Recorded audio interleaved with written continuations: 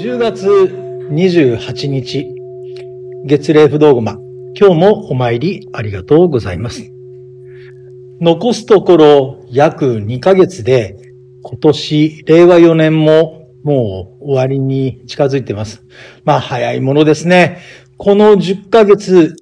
この今年のね、10ヶ月を振り返ってみますと、まあいろんなことがありました。さあ具体的な内容につきましては、年末にもう一度お話ししようと思っておりますけどね。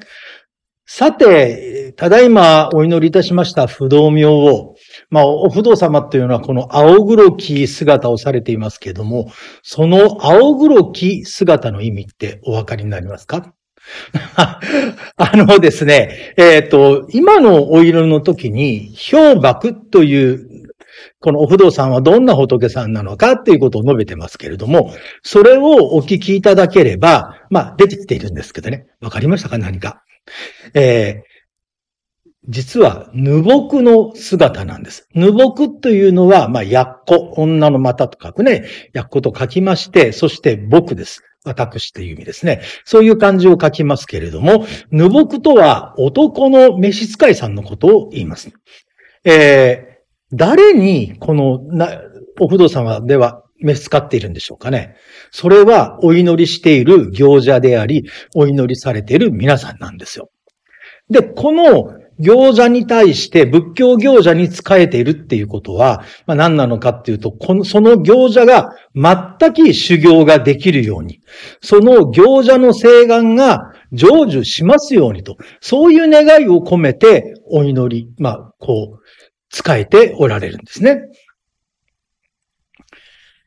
その不動産、この召使い、まあ、いわゆるサーバントと英語では言いますけれども、この元になる動詞がサーブです。あ、そうそう、テニスとか、バレーボールのあのサーブと同じなんですね。そのサーブは供給するという意味なんですけれども、え元々のこのサーブというのはどういう意味があるのかって言いますと、ちょっとね、カンペラを見させてもらいますとね、このサーブというのは、もともとは、役に立つとか、応対するとか、まあそういう意味があると言います。このサーブからの派生語の一つがサービスです。で、まあ、あの、いずれないか英語のような勉強になってしまいましたけれども、まあまあ、これはこちらに置いといて、ところでこのサービスというこの言葉の意味、え皆さんどのようなイメージがあるでしょうか？あまあね、お兄ちゃんサービスしてよ、なんか、おまけしてよ、なんて意味でね、使われることが結構多いんじゃないですかね。このイメージが今の日本の中では結構広がっているように思います。日本語は結構広い範囲の意味を持つことが多いんですけど、まあなぜかわからないんですけどね、和製英語と言いますか、カタカナ英語と言いますか、その英語になってくると意味がですね、極端に狭くなってくるんですね。まあその一つがこのサービスではないのかなと思います。まあ辞書を引いてみますと、このサービスには、またカンペラちょっと使いますね。このサービスには、公共事業、観光庁の業務、いわゆるサービス業、接客応対、奉仕貢献、点検、業務、礼拝など、まあ、幅広い意味があるんですね。日本語のサービスの意味は、まあ、ほんの少しかありませんけれども、その中に今言いましたように、奉仕という意味があるんです。えー、奉仕というと、無償奉仕と、まあ、すぐに浮かべてしまうんですけれども、えー、本来は、慎んで使えること。誰かのために尽くすこと。これが奉仕という言葉の本来の意味なんですね。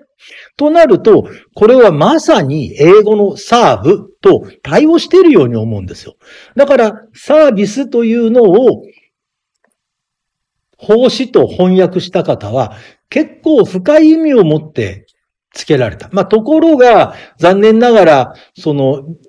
日本語になっているサービスとのこの祖語がありますので、えー、この奉仕って言葉を嫌がられる方も世の中にはいるようですけれども、えー、まあまあ、それはこちらに置いときまして、まさにこの奉仕、サービスをする仏様、これが今日皆さんがお参りいただきました不動明王ではないのかなと思います。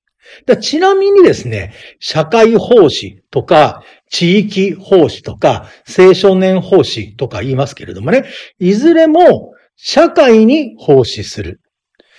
地域に奉仕する。青少年に奉仕する。この奉仕の上についたものが目的語になっているんですね。まあ、このロータリーの用語に、まあ、私、ロータリークラブに入っておりますので、このロータリーの用語に、まあ、特別な言葉として、職業奉仕という言葉があります。まあ、最近どうもこの職業奉仕を、職業のスキルを持って社会奉仕をするというふうに思われている方が少なくないようですけど、本来は今の使い方からするとちょっと違いますでしょ？社会奉仕、青少年奉仕、国際奉仕。これは結局何をするのかっていうと、職業に奉仕をするということなんです。え、どういう意味ってこうなってきますけどもね。また、カンペラ使いますね。職業に対応する英語には、occupation, work, job, profession, career, vocation などがあります。あ、また英語の学習塾みたいになってしまいました。ごめんなさいね。この職業の中の職業奉仕の職業というのは、どの言葉を使うかっていうと、ボケーションです。あ、バケーションじゃないですよ。バケーションは VACATION、あ、ごめんなさい。大丈夫でしょうかね。あの、このバケーションではなくて、これが VA ではなくて VOCATION となります。バケーション。どういう意味かわかりますか？あまり聞いたことないですね。でもこのボケーションというのは、英語圏の人たちにとってはとても大事な言葉で、天から与えられた職業とか、使命とか、そうした意味が込められている言葉なんです。まあ、要は、ボケーショナルサービスというのは、天より与えられた使命に尽力するとか、まあ、天から与えられた職業に尽力するとか、そうした意味があります。それが職業奉仕の本来の意味なんですね。まあ、職業に尽力するというのは、単にその職業に奉仕をするという、このもう一個奥にあるのは、天から授かってきた職業ですから、天に対しての尽力をする。まあ、人によっては神様、人によっては仏様、人によっては大宇宙となってくるかもしれませんが、それに対、その人から預かったものに対して尽力をしていく。これがボケーショナルサービス、職業奉仕なんですね。だからこの職業の中には主婦であってもいいわけなんですよ。主婦であるということもとても大事なこの一つのボケーションだと思います。その天から与えられた、えー、使命というかね、そういうものに尽力する。職業に尽力するっていうのは単純に職業に奉仕するのではなくて、あくまでも天に、大宇宙にそういうものに使えていくっていう意味になってきますから、職業奉仕という言葉、なかなか深い意味があると思いませんか？お不動様は、そうした自分の使命に尽力するものに対して、深く、深く、こう、支えて、使えてくださる。そういう仏様であるのではないでしょうかね。さて、天職に尽力すると言いましたけれども、まあ、ちょっとイメージが湧きにくいかもしれませんので、少し具体的なお話をしてみようかなと思います。おまんじゅう屋さんでもケーキ屋さんでも洋服屋さんでも、まあ何でもいいんですけど、何かのお店を自分が持っている。まあもしくは会社でもいいでしょう。それを持っているっていう、そういうイメージをまずちょっと今日持っていただけますかね。では自分が会社やお店を経営している場合に、誰に対して職業、奉仕をしているんでしょうかね。この職業に奉仕する、そして具体的には誰に対してなんでしょうか。自分？家族？ああ、もちろんそうだと思いますよ。それによって糧を得られるわけですから、それによって生きている。でも、これはですね、ちょっと間接的だと思うんですね。職業そのものに奉仕するとなってくると、それによっている対価によって、こう、家族を養うっていうのは、少し意味が違ってくるんですね。ああ、まあそういえばね、そうそうそう。ここのところ、世間では週休3日制のことが言われるようになりましたけれども、なんかこれって職業を悪だって決めつけているような気がするんです。なんかちょっと私は違和感があります。と言いますのもね、働きたい人がいるわけですよ。週休3日とかそういうことではなくて、しっかりと働きたい。でも、週休3日という制度があるために働くことができない。それはその人の生きがいを天から授かった使命を奪ってしまうことになりかねないと思うんです。もちろん、もちろんですよ。えー、自分の家庭を得るために仕事をして、どこかの会社とか、そうしたところで、あまり好きではない仕事をやっている方もおられると思います。そういう方が週休3日制を取られるというのは、決して悪いことだとは思いませんが、でも本当に働きたくて仕方がない人のものを奪ってしまうような、そういう制度って、これをね、政治が行うのが本当にいいのかどうなのかって、ちょっと私は疑問です。むしろ経営者が倫理高くなっていく。せめてこの国、日本では経営者が倫理高くあってやっていけば、そうしたことをなんか週休3日制とか2日制とか1日制とかって言うんじゃなくて、もっと働く手の主体的に物事を決めていけばいいんじゃないのかなって。選択制にすればいいんじゃないか。働きたい人は働きなさい。そうじゃない人はそうじゃないって。それでいいように思うんですよね。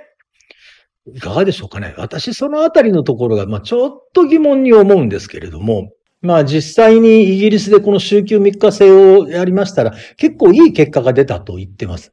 ただ、よく考えてください。今まで週6日でやってたものを週4日でやらなくてはならなくなったとすると、結局どうなります？その仕事に対する集中力はいいかもしれませんし、効率はいいかもしれない。でも効率がいいっていうことは結構緩みがないんですよね。車でもハンドルに緩みがありますように、この緩みがないって結構怖いことになるんですよ。ちょっと昔思い出してみてください。お葬式やお祭りがあれば会社って休み OK だったでしょ？ところが最近お葬式やお祭りで会社を休むという発想がほとんどありません。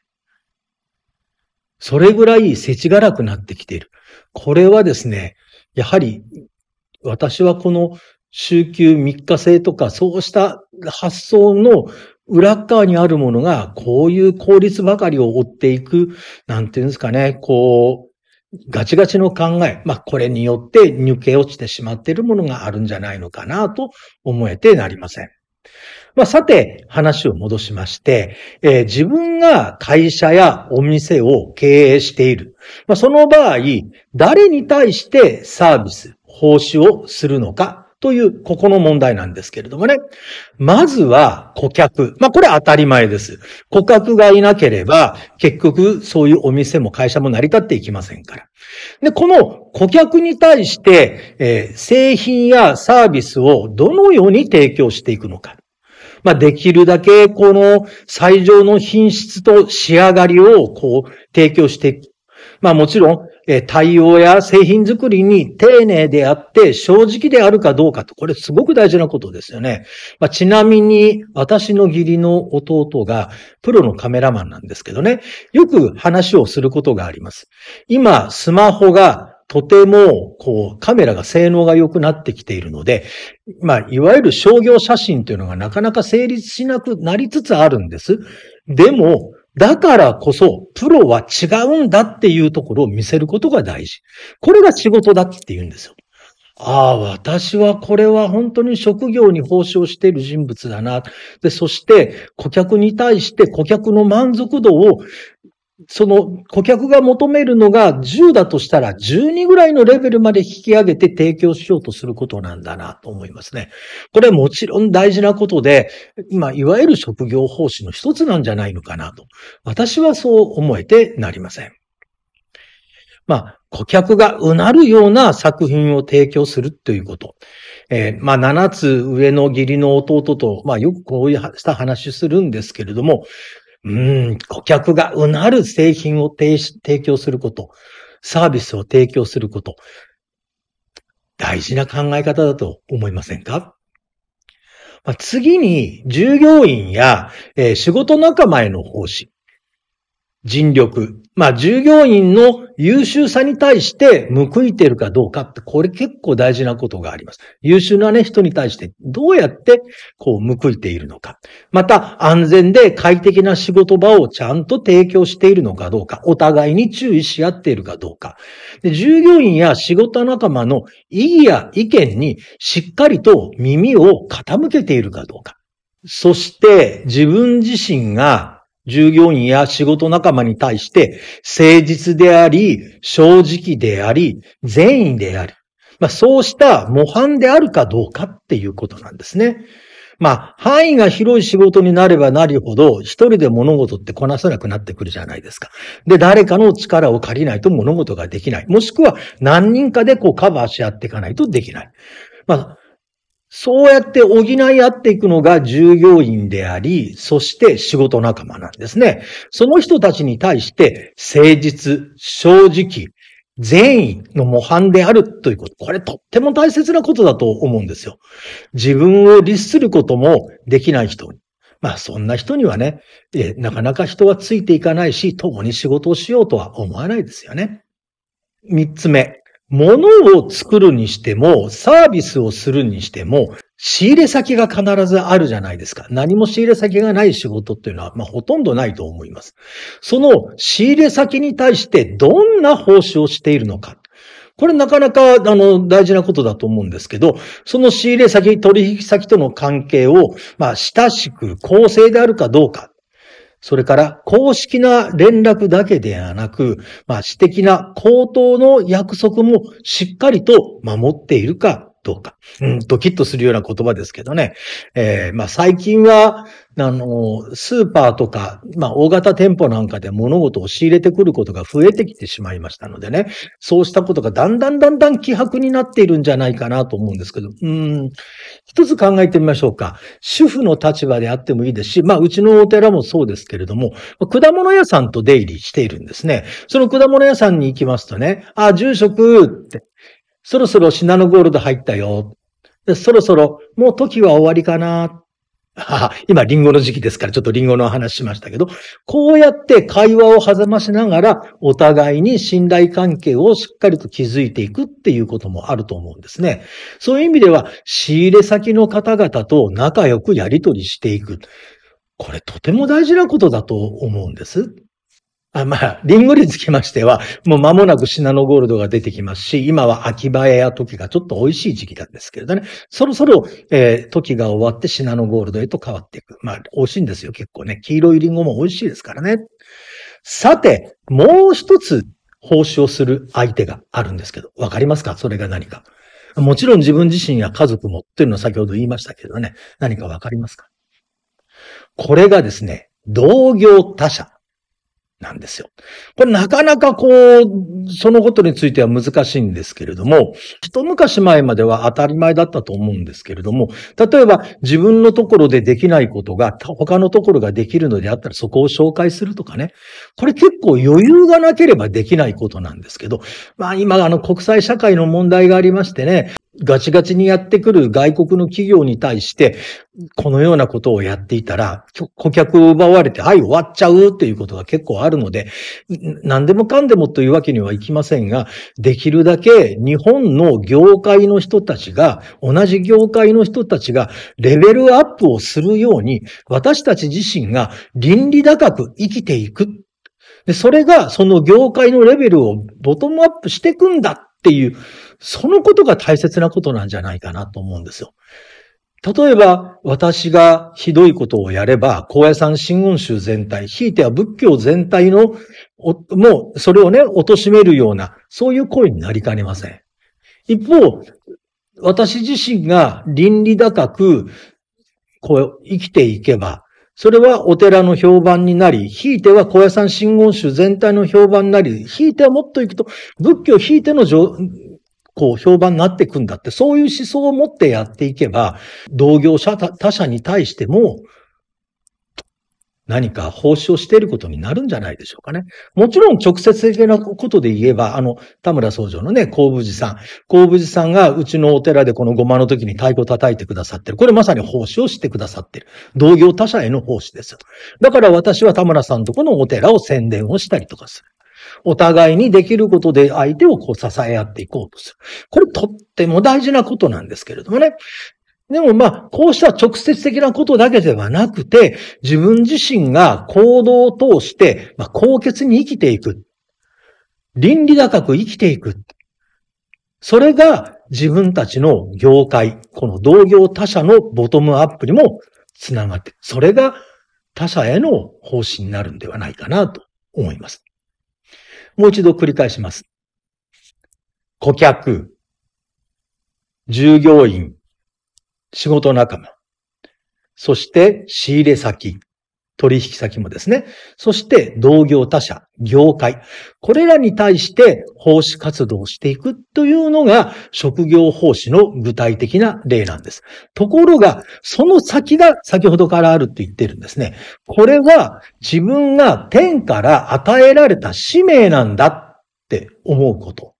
すなわち、その人たちに尽くしていくっていうことは、職業の中で尽くしていくっていうことは、天に仕えていくんだ。天からの使命に尽力するんだ。自分の使命に尽力するんだということに、他ならないと思うんです。まあ、よく考えてみますとね、今日お祈りいただきました並切不動明。これ、高野山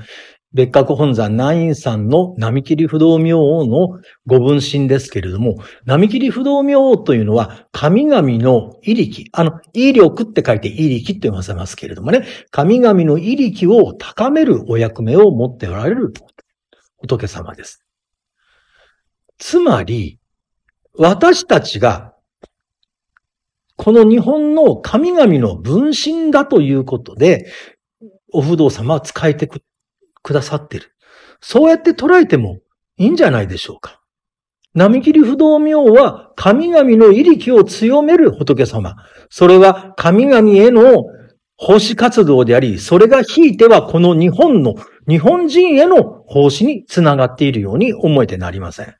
その並切不動尊のご分身を祀っているこの高家寺、これもご多分に漏れず、日々自分の天職や自分に与えられた使命に尽力している。まあ、今日ね、こうして来られて皆さんそうだと思うんですけども、その神々のご分身でもある皆さんに、その威力を強めてくださるように、並切不動明は動いてくださる。奉仕してくださるんだと、改めて今日は感じました。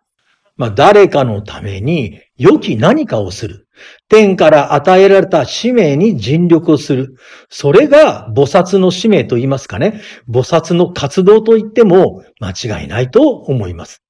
その活動を見守り、助力してくださるのが、並切不動明王。本日も月齢不動明王のごま供養にお参りしていただきまして、ありがとうございました。